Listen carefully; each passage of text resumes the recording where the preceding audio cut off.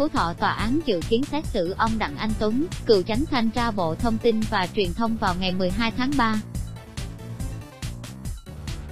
Phiên tòa diễn ra tại Tòa án Nhân dân tỉnh Phú Thọ, thẩm phán Tạ Văn Thành làm chủ tòa. Ông Đặng Anh Tuấn bị xét xử về tội lợi dụng chức vụ quyền hạn trong khi thi hành công vụ. Theo Điều 356 Bộ Luật Hình sự 2015, khung hình phạt từ cải tạo không giam giữ đến 3 năm hoặc phạt tù 1 đến 5 năm. Phiên tòa dự kiến triệu tập ông Trương Minh Tuấn cựu Bộ trưởng Thông tin và Truyền thông, với vai trò là người có quyền lợi nghĩa vụ liên quan. Ông Tuấn đang thi hành hình phạt 14 năm tù, về tội vi phạm các quy định về quản lý đầu tư công gây hậu quả nghiêm trọng, và nhận hối lộ trong vụ án. Phiên tòa mở lần đầu vào ngày 25 tháng 11 năm 2019 xong ông Trương Minh Tuấn có đơn xin xét xử vắng mặt. Cho rằng lời khai của ông có vai trò quan trọng liên quan tới hành vi phạm tội của bị cáo Đặng Anh Tuấn, hội đồng xét xử đã hoãn xét xử. Trong thời gian chờ phiên mở lần thứ hai, Viện Kiểm sát Nhân dân tỉnh Phú Thọ đề nghị rút hồ sơ để điều tra bổ sung, cho phát sinh các tình tiết mới. Tòa án Nhân dân Phú Thọ chấp thuận. Chánh thanh tra Bộ Thông tin và Truyền thông Đặng Anh Tuấn trong phiên tòa sáng ngày 25 tháng 11 năm 2019. Ảnh, Xuân Hoa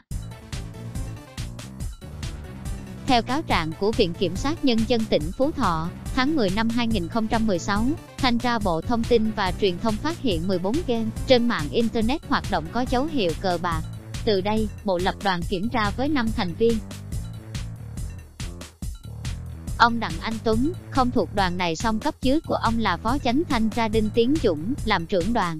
Quá trình kiểm tra, đoàn có 3 báo cáo xác định nhiều cá nhân, doanh nghiệp lợi dụng nguồn tài nguyên Internet để vận hành trò chơi điện tử có yếu tố cờ bạc. Trong số này có kênh VIP liên quan công ty VTC Online đã bị chuyển qua cơ quan công an xử lý từ tháng 9 năm 2016, song vẫn hoạt động dưới tên miền tiếp. Club Ông Dũng đã gửi ba báo cáo xác định rõ các cá nhân, tổ chức vi phạm, và đề xuất biện pháp giải quyết đến chánh thanh tra Đặng Anh Tuấn và Bộ trưởng Trương Minh Tuấn. Hai trong ba báo cáo nêu kim bài tiết. Club vẫn hoạt động mạnh, thậm chí quảng cáo rầm rộ, công khai bán thẻ nạp tiền cho game trên trang thông tin điện tử. Game này do công ty trách nhiệm hữu hạn đầu tư phát triển an ninh công nghệ cao, CNC phát triển, có sự liên kết và được điều hành bởi một số cán bộ tại Cục C50, Bộ Công an. Đoàn kiểm tra đề xuất chuyển sang cơ quan công an, xử lý các sản phẩm trò chơi điện tử trên mạng có dấu hiệu hình sự.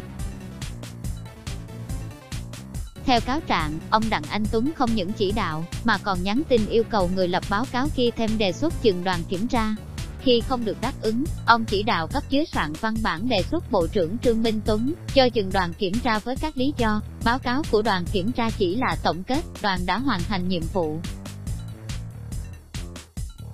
Vì vậy, Bộ trưởng đồng ý dừng đoàn kiểm tra khi các trò chơi trên mạng, và các hành vi liên quan chưa được xử lý,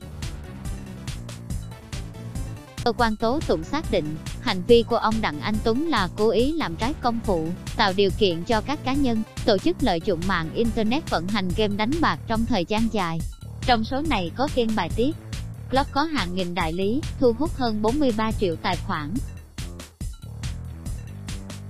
Việc đưa ông Đặng Anh Tuấn ra xét xử nằm trong diễn biến điều tra, xét xử giai đoạn 2 qua game Review trên tiếp lắp cho Nguyễn Văn Dương cựu chủ tịch CNC và Phan Sào Nam cựu chủ tịch VTC Online tổ chức, có bảo kê của cựu Tổng cục trưởng Tổng cục Cảnh sát và cựu cục trưởng C50. Let's Block Us. Why?